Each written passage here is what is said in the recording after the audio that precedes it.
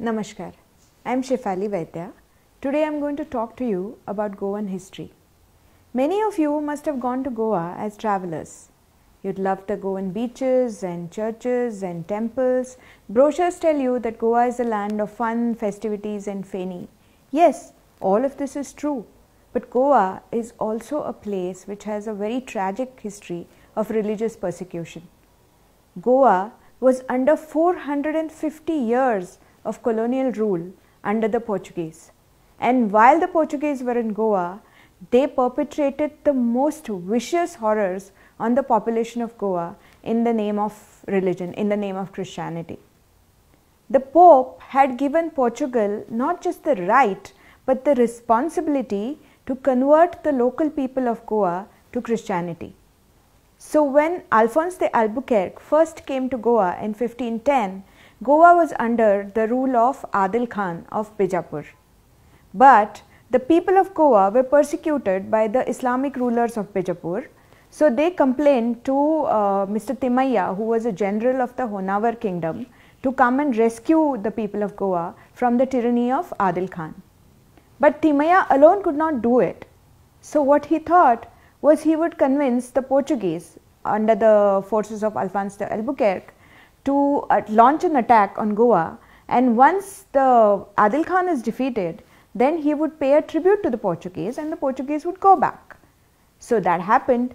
Timaya and the local population of Goa fought from the land and the Portuguese fought from the sea and Adil Khan's forces were defeated. The Portuguese became the rulers of Goa. Timaya said, I will now give you a lot of money, but you need to go back to Portugal. And you can imagine what the Portuguese said. They said, No, we are going to stay here. This is going to be our colony. And thus started the saddest period of Goa's history. Religious persecution started in right earnest.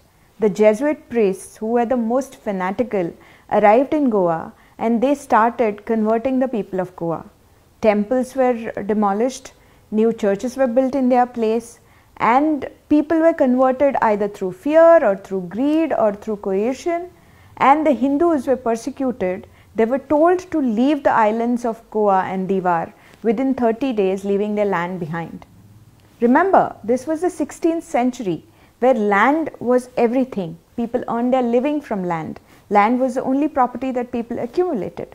So, giving up land was very difficult for the Hindus of Goa, but they still did it. Wherever possible, they took their deities with them and they crossed the river and they moved to the Hindu territories rather than prefer to stay in Portuguese territories and become converted. But a lot of people did convert. Some were converted by force, some were converted because of greed. But the Portuguese found that even when the people were converted, they kept going back to the religion, their original dharma. They would worship in a certain way, they would put flowers to the murtis, they would wear the dresses they were accustomed to. And the Portuguese didn't like it. Francis Xavier, who was in Goa as a Jesuit missionary, he said the Hindus cannot be trusted. So he wrote a letter to the King of Portugal and he said, Please establish a court of inquisition. The court of inquisition was a horrible institution patronized by the Catholic Church and started by the governments of Portugal as well as in Spain that punished converts to Christianity who would secretly practice the rites of their previous religions. It was already being practiced in Portugal as well as in Spain, but because of Xavier's letters, Portuguese decided to establish a court of inquisition in Goa. The court of inquisition had very sweeping powers. It met in what was previously known as Adil Khan's palace in Old Goa. It was a massive palace that was turned into a big prison. It had underground cells and people were arrested there randomly. Anybody would complain against their neighbor whom, for whom they didn't like or for whatever reasons and the court of inquisition the first thing it would do is it would take away their property and arrest them and after that in many cases the person was never seen or heard again the people were tortured in most inhuman ways there are documented tortures like tortures by water torture tortures by stretching them on a pulley tortures by you know all sorts of horrible most horrible tortures and the people who confessed after those tortures they were strangled and burnt alive and the people who didn't confess, they were actually burnt alive in very public ceremonies called auto da fe. There was a French traveler called Charles Dellon who was imprisoned by the Inquisition for almost one and a half year. But finally, he was released because of pressure from the French, and when he went back to Paris, he actually wrote a book about the horrors of Inquisition. It is the most authoritative contemporary ac- account of the tortures that were carried out by, under the name of Inquisition. Many things happened because of this religious persecution of the Portuguese. Under the Portuguese, the rules were so repressive that Hindus could not uh, ride horseback. Hindus were not allowed to hire Christian laborers. Hindus were not allowed to participate in gram sabhas. You couldn't sing religious songs called vovio for your religious ceremonies. You could be arrested by the Inquisition. You could not give betel leaf. You could not wear Indian clothes. You could not have uh, rice without salt. You could not bathe in the morning. Simple things like that could get you arrested and tortured by the Inquisition. Inquisition also made the Hindus so defensive and so uh, persecuted about their own faith that they were forced to migrate to other territories, either in Karnataka or in Kerala or in parts of Goa, which were then not under Portuguese rule. Which is why today you find a huge community that speaks Konkani all along the coast. The Inquisition was a horrible tribunal of torture.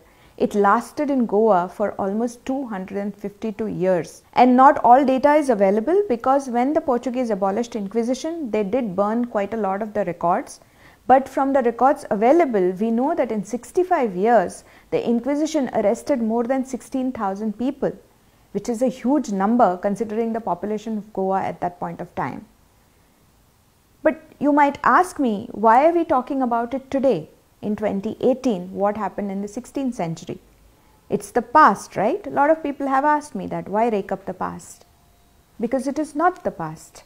What happened to the Hindus of uh, Goa in the 16th century happened to the Hindus of Kashmir in the 1990s. It is happening to the Hindus of West Bengal even as we speak. It happened to the Hindus of Kerala. You travel along the coast of Kerala and you will see how rapidly it is changing. We have to talk about the past if we want to secure our future.